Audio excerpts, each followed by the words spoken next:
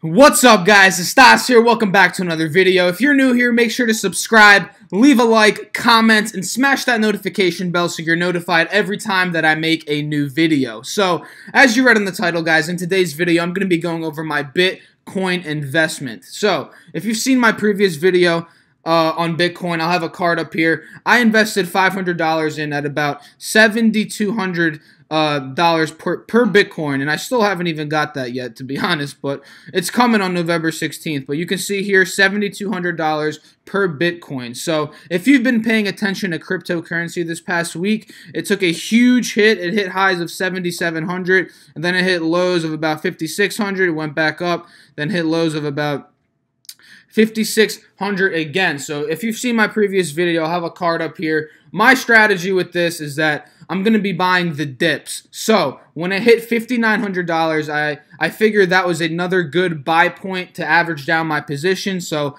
I tossed in another $500 here, as you can see, at $5,900 per Bitcoin. I put in another $500. So now my Bitcoin position is averaged down to about 50, or not 50, 65 hundred dollars. So my investment strategy with Bitcoin is that I'm just going to be buying the dips. I'm probably going to put five hundred dollars in each time it dips down, so I can build a strong position on Bitcoin, and then I'm going to hold it for about a couple of months and try to make a profit on it. That's the goal here, guys. So just a quick little investment update on what my what I'm doing with Bitcoin, guys. I hope you guys enjoyed the video. Make sure to leave a like, smash the subscribe button, leave a comment. Let's make some money today, guys. Have a great day, and I'll see you in the next video.